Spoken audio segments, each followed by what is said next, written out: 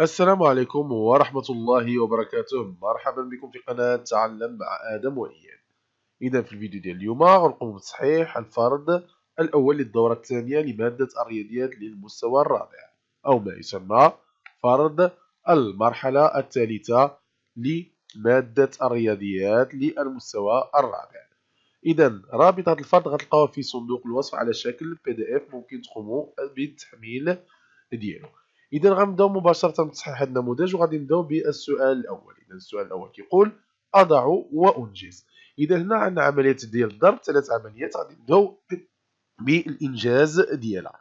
إذا غنبداو بالعملية الأولى إذا 6000 600 عفوا و8 ضرب 8 اذا 8 في 8 64 نكتب 4 ونحتفظ ب 6 8 في 0 صفر زائد ستة ستة ثمانية في ستة ثمانية وأربعون. إذا النتيجة هي أربعة آلاف وثمانمائة وأربعة وستون. نقوم بإنجاز العملية الثانية. إذا أربعة وثلاثون ضرب خمسة وستون. خمسة في أربعة عشرون نكتب صفر ونحتفظ بإثنان. خمسة في ثلاثة خمسة عشر زائد اثنان سبعة عشر إذا كنكتبو نقطة وكنضربو في الرقم التالي.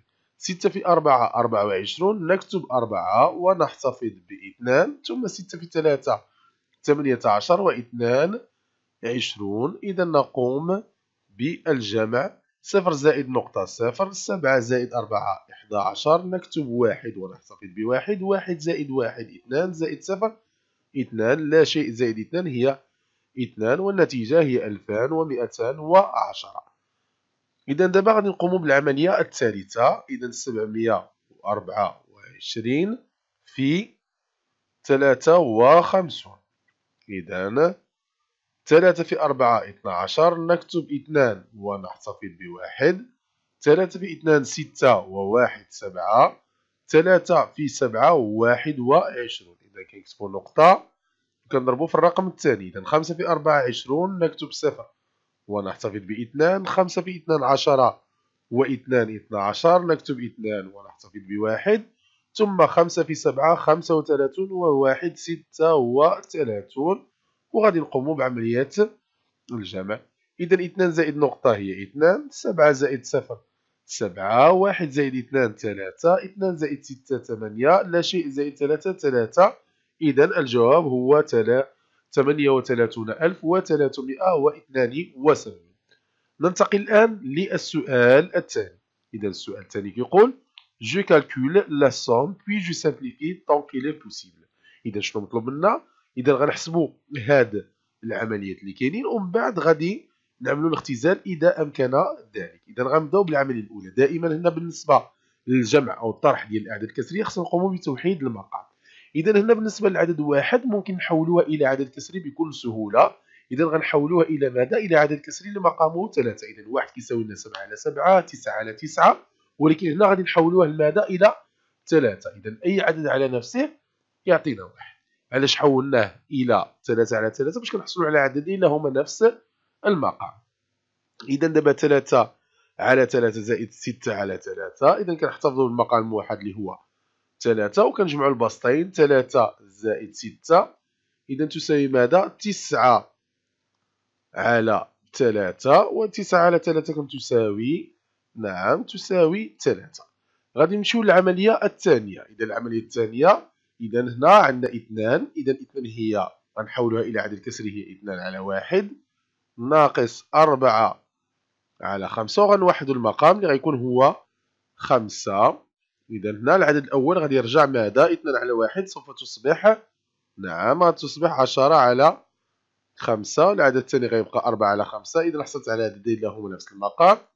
إذا غنحتفظ بالمقام الموحد وغادي نقوم بحساب الفرق ديال البسطين. إذا عشرة ناقص أربعة ستة على خمسة. إذا الجواب هو ستة على خمسة. بالنسبة للعملية الأخيرة إذا العددين اللي هما نفس المقام. إذا كنحتفظوا بالمقام. وكنقصوا البسطين. اذا 14 ناقص 5 اذا شنو كتساوي؟ 14 ناقص 5 9 9 على 9 و9 على 9 ماذا تساوي؟ واحد. اذا قلنا كل عدد على نفسه كيعطينا هو واحد. غنمشيو للسؤال الثالث. اذا هنا أكمل بالتحويل إلى الوحدة المطلوبة. إذا هنا الوحدات المستعملة هي ماذا؟ هي وحدات الكتل. إذا ممكن نقوم بالتحويل ذهنيا ممكن نستعملوا بجدول التحويلات. إذا اللي بغى يشوف جدول التحويلات إذا جدول التحويلات ديال الكتل إذا الوحدة الأساسية هي ماذا؟ هي الجرام عندنا الأجزاء ديالها الديسيغرام السنتيغرام الميليغرام وعندنا المضاعفات ديالها الديكاغرام الهكتوغرام الكيلوغرام. هنا كتكون عندنا النقطة. ثم كاين القنطار والطول. إذا ممكن نستعملوا هاد جدول التحويلات ممكن نقوم بالتحويلات ذهنيا إذا كنا متمكنين وكنشوفوا هاد الجدول قدامنا أها إذا غادي نبداو بالإجابة على الامتحان. إذا هنا الإجابة على الامتحان إذا شنو كتقول لنا هنايا هاد النموذج؟ إذا شنو عندنا؟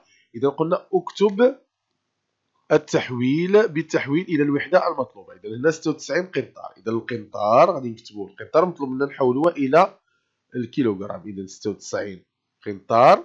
إذا هنا مورا القنطار شنو كاين عندنا؟ عندنا وحدة فارقة كنزلوا فيها الصفر ثم عندنا الكيلوغرام. إذا 96 قنطار كتساوي لنا 9600 كيلوغرام. كل قنطار فيه 100 كيلوغرام.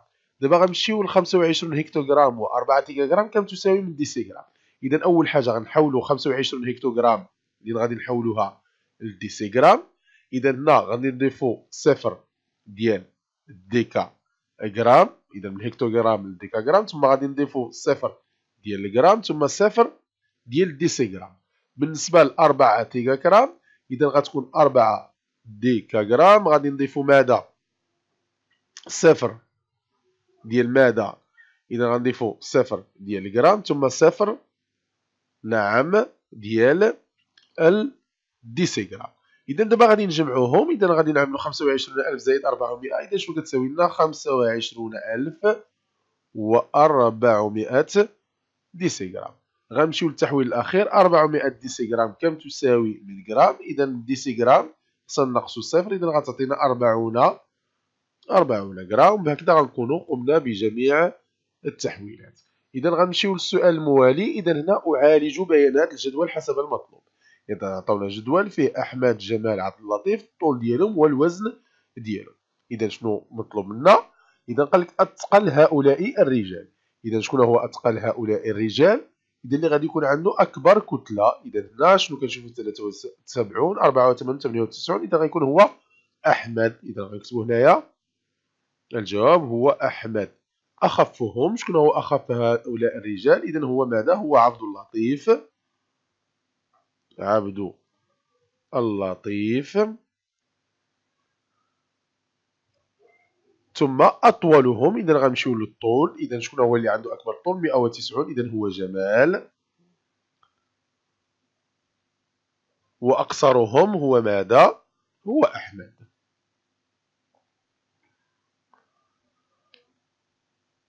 إذا هنا عفوا ماشي أحمد إذا هنا شكون هو اللي عنده أقصر طول؟ إذا هنا ماشي 168 إذا هو ماذا هو عبد اللطيف. إذا هنا عندنا خطأ إذا غنصحوه إذا هنا أصغر عدد عند عبد اللطيف. 165 إذا شنو غادي نكتبوا عبد اللطيف. إذا هنا الجواب الصحيح ماشي هو أحمد هو ماذا هو عبد